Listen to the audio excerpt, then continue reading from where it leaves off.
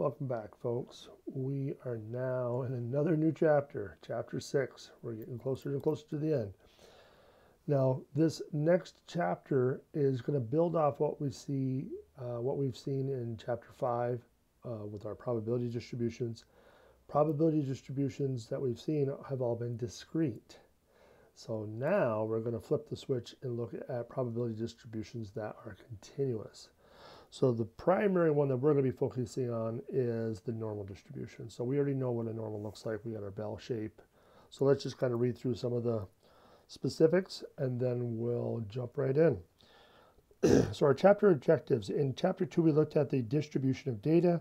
In chapter three, we looked at the measures of data sets, including measures of center and variation.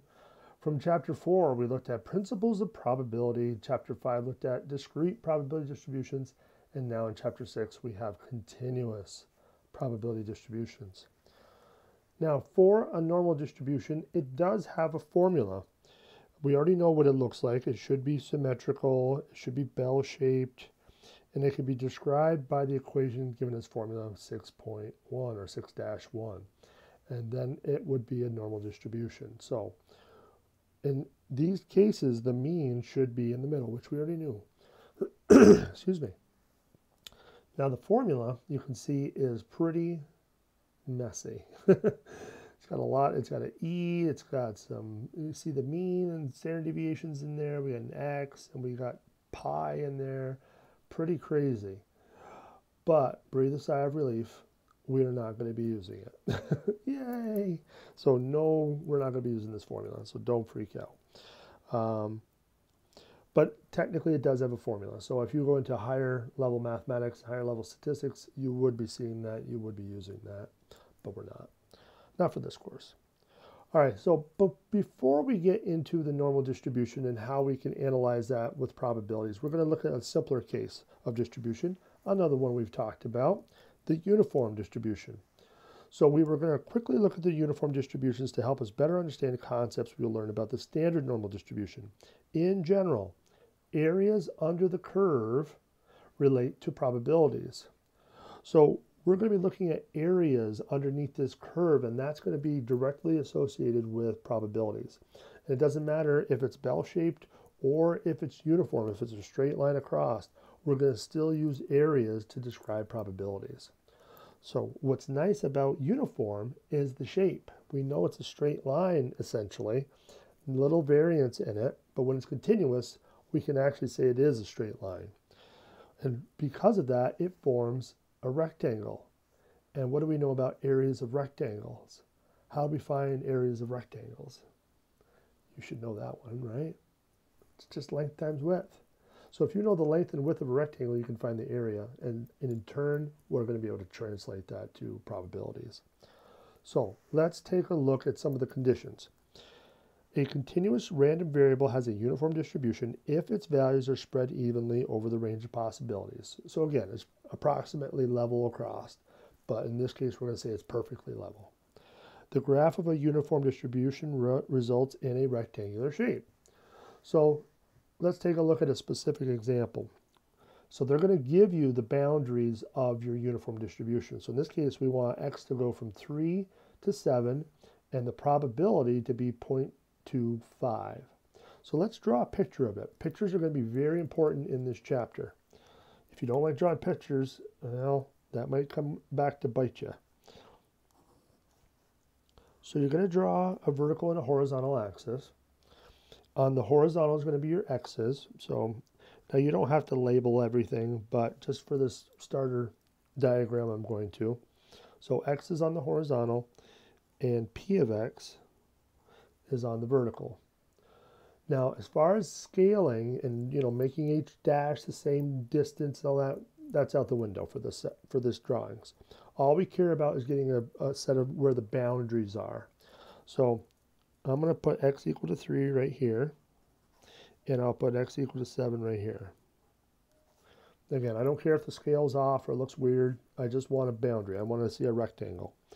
On the vertical, I'm going to put my 0.25. And so now I'm going to draw a rectangle that kind of encompasses all of these boundaries. So there's my rectangle. So that's the world for this problem, whatever it is. If they were talking about probabilities, that would be the outside border. I'm not going outside of that. What's the area of that rectangle? All right, well, let's think. We need the length and the width, right? Well, we already know this dimension, right? There's our 0.25. So we know how tall it is. So how long is it across the bottom? How can we figure that out pretty quickly? If we know this is 7 and that's 3, we should just be able to subtract that, right? So 7 minus 3 equals 4. So we got 0.25 on this dimension. We got 4 on this dimension. So 4 times 0.25 equals 1. Ha ha ha. So there's that link to probability distributions. All of those discrete probabilities had to add up to 1. Well, the area of a continuous one has to be equal to 1. So that's the relationship with those. So now we know the criteria to have a continuous probability distribution. So, excuse me. Similar to probability distributions, continuous probability distributions have two properties that must be satisfied. The area under the graph of a continuous probability distribution is equal to 1. So that's the important one. Just like with the summation, that sum of p of x equal to 1. That was the important one. The other two were kind of like, nah, not a big deal, but we still had to confirm that they were satisfied. The second one is really a consequence of the first one. There's a correspondence between area and probability or relative frequency. So some probabilities can be found by identifying the corresponding areas in the graph.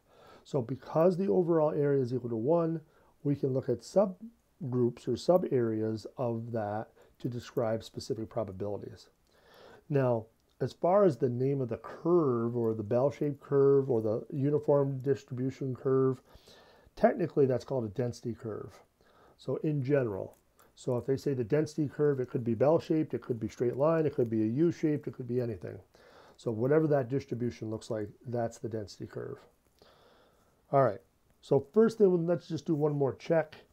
If we have 60, x equals 1600 16,000, excuse me, 200.5, and I'm not sure why there's a big space there, but to 16,202.5 with p of x equal to 0.5. Do the conditions yield a uniform distribution? Well, again, let's just draw a picture. And so I'm going to say x is equal to 16,200.5, x equals 16, or not 100, but 16,000. 202.5 and then this is 0.5 all right so we got our rectangle but what's the area of it well like I said we already know this this dimension here is 0.5 so what's this dimension here how long is that still subtract right we subtract the two numbers and what do you get 2. So even though you got these gigantic numbers for x, you don't say settle and just say, oh, it's too big. It can't be big. It can't be 1. There's no way. The numbers are too huge. Well, no, because they're so close together, it's deceiving. So the area is equal to 2 times 0.5, which equals 1. So the answer is yes. Um, the conditions determine a uniform distribution. So don't be don't don't overthink these problems, but just be careful. All right, so now that we know when we have a uniform distribution, what can we do with it? Let's take a look at the second example. So we have, given the following uniform distribution, find the probability that a randomly selected weekly salary is greater than $275 and then less than $210. So now we're looking at probabilities. So here's our world. X is equal to 200, x is equal to 300 with p of x equal to 0.01. So we're going to need a, a world for each of these parts. So let's do part A first. let's get our world. So we got 200 and 300 and 0.01. So there's our rectangle. All right. Now, we want greater than $275. So again, we're talking about money here. So the next thing we need to do is identify where $275 should fall in this, where it makes sense. So 275, is it going to be closer to 200 or 300? Well, yeah, it's going to be closer to 300. So I'm going to just make a rough guess and say, okay, right there is 275. Not perfect, but it's reasonable. Okay, but now the question says I want to look at stuff greater than, salaries greater than $275. So now I'm going to have to do some shading. Now I want to make sure I shade correctly. Because it's greater than 275, I'm going to have to shade on this side. I'm not going to shade over here because then these are these are looking at numbers that are smaller than 275. I want greater than. So I got to shade that side. So the problem boils down to what's the area of that shaded rectangle? So we still need the dimensions. We already know one of them is 0.01. So now all we need to know is how long is this part right there? How can we figure that out? Well, 300s on the top side, 275s on the bottom side. So that should give us a total of 25 for that dimension. So the area, which is equal to the probability, which is equal to 25 times 0.0, whoops, 0.01 or 0.25. So again, area and probability kind of go hand in hand as long as the overall area of your world is 1. That's the, that's the condition. So this area, so this probability is 0.25. There's a basically a 25% chance you're going to get a salary greater than 275 for this scenario. And it kind of makes sense.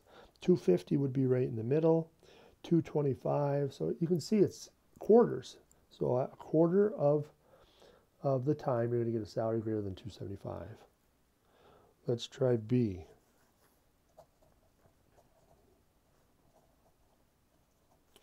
So again, let's get our world. Now it seems a little tedious to do these drawings for every one of them, but it's going to be even more important when we get to the bell-shaped curves. It's going to be more important. So get used to it. it's to your benefit. It's to help. All right, so there's our world. So now 210. Well, 210 is definitely going to be closer to the 200, so let's put it down here somewhere. But be careful where you shade. This one wants less than 210, so we're not shading on the right side, we're shading on the left side. So there's our diagram. So we need our dimensions. So what are our dimensions going to be? Now I'm putting A equals probability. You don't need to put both. I mean, in this case, we don't really need the A, but just kind of know that it is the area that you're looking for to find this probability. So, okay, so our probability should be equal to, we already know the one dimension is 0.01, and we can kind of see, well, if you're going from 210 down to 200, that's only 10. So this dimension here is 10. So we got 10 times 0.01, which is 0.10. So 10% of the time, it should be less than $210. So hopefully that makes sense how this works, but we're going to be expanding on this now, looking at the next um, part of this, which is looking at the bell-shaped curve and how areas and probabilities intermingle with that. So you're going to need a table from your book. So start looking in the back. So we'll see you in the next video.